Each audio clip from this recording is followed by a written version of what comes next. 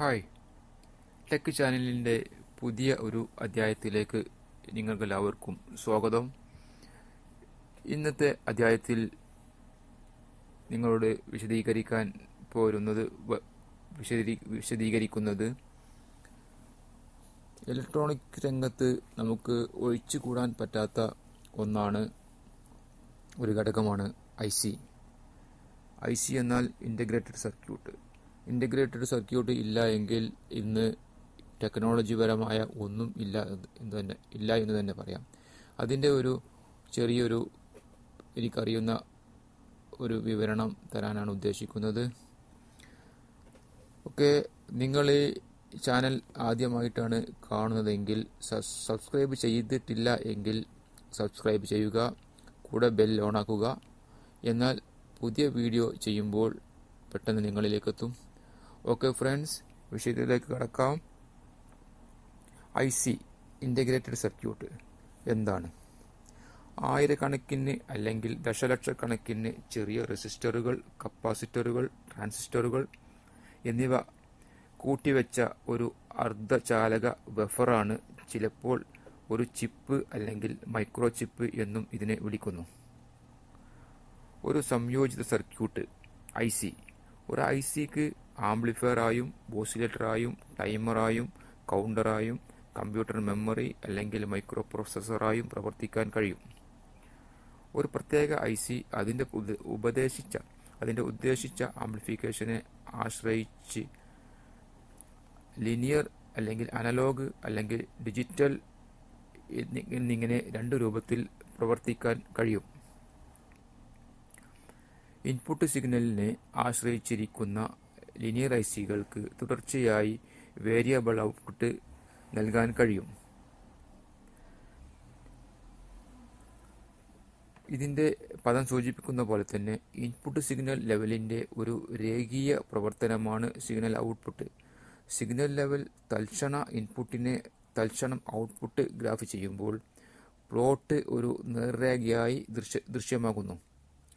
Linear I audio ഫ്രീക്വൻസിയെയും അതായത് F radio ഫ്രീക്വൻസിയെയും അതായത് R F ആംപ്ലിഫയറുകളായി പ്രവർത്തിക്കുന്നു. ഈ ആംപ്ലിഫിക്കേഷനുകളെ ഒരു സാധാരണ ഉപകരണമായിട്ടാണ് സാധാരണ ഒരു ഓപ്പറേഷൻ ആംപ്ലിഫയറായി ഉപയോഗി ഉപയോഗിക്കാൻ പറ്റും. തുടർച്ചയായി സിഗ്ന- സിഗ്നലുകളേക്കാൾ നിർവചിക്കപ്പെട്ട കുറച്ച് തലങ്ങളിൽ മാത്രമേ ഡിജിറ്റലൈസുകൾ പ്രവർത്തിക്കുകയുള്ളൂ. കമ്പ്യൂട്ടറുകൾ കമ്പ്യൂട്ടർ നെറ്റ്വർക്കുകൾ മോഡം എന്നിവ എന്നിവയിൽ ഈ ഉപകരണങ്ങൾ പ്രവർത്തിക്കുന്നു. ഡിജിറ്റൽ ഐസികളുടെ അടിസ്ഥാന നിർമ്മാണ ബ്ലോക്കുകൾ ലോജിക്കൽ ഗേറ്റുകളാണ്. അവ ബൈനറി ഡാറ്റ ഡാറ്റയായിട്ടാണ് പ്രവർത്തിക്കുന്നത്. അതായത് ഒരു വ്യത്യസ്ത സ്ഥാനങ്ങൾ മാത്രമുള്ള സിഗ്നലുകൾ താഴ്ന്ന അതായത് ലോജിക് സീറോ ഉയർന്ന അതായത് ലോജിക് വൺ എന്നീ ബൈനറി നമ്പറുകൾ ഉപയോഗിച്ചാണ് ഒരു കമ്പ്യൂട്ടറിന്റെ പ്രവർത്തനം. ഇന്റഗ്രേറ്റഡ് സർക്യൂട്ട് അല്ലെങ്കിൽ മോണോലിത്തിക് ഇന്റഗ്രേറ്റഡ് സർക്യൂട്ട് അല്ലെങ്കിൽ ഐ സി അല്ലെങ്കിൽ ചിപ്പ് അല്ലെങ്കിൽ മൈക്രോ ചിപ്പ് എന്നൊക്കെ അറിയപ്പെടുന്ന ഒരു സാധാരണയായി സിലിക്കൺ ആയ അർദ്ധചാലക വസ്തുക്കളുടെ ഒരു ചെറിയ ഫ്ലാറ്റ് കഷ് ഒരു ചെറിയൊരു ഫ്ലാറ്റ് കഷ്ണത്തിൽ അതായത് ചിപ്പ് കഷ്ണത്തിൽ ഒരു കൂട്ടം ഇലക്ട്രോണിക് സർക്യൂട്ടുകളാണ് ഐ സി. വലിയ അളവിലുള്ള ചെറിയ മോസ് ട്രാൻസിസ്റ്ററുകളെ ഒരു ചെറിയ ചിപ്പിലേക്ക് സംയോജിപ്പിച്ചാണ് സർക്യൂട്ടുകൾ നിർമ്മിക്കുന്നത്. അവ വ്യതിരക്തമായ ഇലക്ട്രോണിക്സ് ഘടകങ്ങളാൽ നിർമ്മിക്കപ്പെട്ടിരിക്കുന്നു. ചെറുതും വേഗതയേറിയതും വില കുറഞ്ഞതുമായ ഐഡിയയാണ് ഐ സിയുടെ ഘടന. ഐ സിയുടെ വൻതോതിലുള്ള ഉൽപാദനശേഷി വിശ്വസ്തത സർക്യൂട്ട് രൂപകൽപ്പനയിലുള്ള ബിൽഡിംഗ് ബ്ലോക്ക് സമീപനം എന്നിവ ഒരു പ്രത്യേക ട്രാൻസിസ്റ്ററുകൾ ഉപയോഗിച്ച് ഡിസൈനുകൾക്ക് പകരം ഡിസൈനുകൾ ചെയ്തു സ്റ്റാൻഡർഡൈസ്ഡ് ഐ സികൾ വേഗത്തിൽ സ്വീകാര്യമാകാൻ കാരണമായി. ഐ സികൾ ഇപ്പോൾ ഫലത്തിൽ എല്ലാ ഇലക്ട്രോണിക് ഉപകരണങ്ങളും ഉപയോഗിക്കുന്നു. മാത്രമല്ല ഇലക്ട്രോണിക് ലോക ഇലക്ട്രോണിക് ലോകത്ത് വിപ്ലവം സൃഷ്ടിക്കാൻ കഴിഞ്ഞു. കമ്പ്യൂട്ടറുകൾ മൊബൈൽ മൊബൈൽ ഫോണുകൾ മറ്റു ഡിജിറ്റൽ വീട്ടുപകരണങ്ങൾ എന്നിവ ഇപ്പോൾ ആധുനിക സമൂഹങ്ങളുടെ ഒരു അഭിവാജ്യ ഘടകമായി മാറിക്കഴിഞ്ഞിട്ടുണ്ട്. ഇതൊരു ചെറിയ വലിപ്പം കുറഞ്ഞ ഏറ്റവും വില കുറഞ്ഞതുമായ ഉപയോഗിക്കാൻ എളുപ്പവുമുള്ള ഒരു മെറ്റീരിയലായി ഇത് കൂടുതൽ ആളുകളിലേക്ക് എത്താൻ കാരണമായി. അതുകൊണ്ട് തന്നെ ടെക്നോളജിയിൽ ഐ സിയെ മാറ്റി നിർത്തി ഒരു ഘടകം ഇല്ല എന്ന് തന്നെ നമുക്ക് ഉറപ്പിക്കാം. Metal oxide silicon M O S അർദ്ധചാലക ഉപകരണ ഫാബ്രിക്കേഷനിലെ സാങ്കേതിക മുന്നേറ്റമാണ് ഇന്റഗ്രേറ്റഡ് സർക്യൂട്ടുകൾ പ്രയോഗി പ്രയോഗികമാക്കിയത്. ആയിരത്തി തൊള്ളായിരത്തി അറുപതുകളിൽ അവയുടെ ഉത്ഭവം മുതൽ ചിപ്പുകളുടെ വലുപ്പം വേഗത ശേഷി എന്നിവ വളരെയധികം പുരോഗമിച്ചിട്ടുണ്ട് പുരോഗമിച്ചിട്ടുണ്ട്. ഒരേ വലുപ്പത്തിലുള്ള ചിപ്പുകൾ കൂടുതൽ മോസ് ട്രാൻസിസ്റ്ററുകൾ അനുയോജ്യമായ സാങ്കേതിക മുന്നേറ്റങ്ങളാൽ നയിക്കപ്പെടുന്നു. ഒരു ആധുനിക ചിപ്പിൽ കോടിക്കണക്കിന് മോസ് ട്രാൻസിസ്റ്ററുകൾ ഉണ്ടായിരിക്കും ഉണ്ടായി ഉണ്ടായിട്ടുണ്ട് ഉണ്ടാവുന്നുണ്ട്.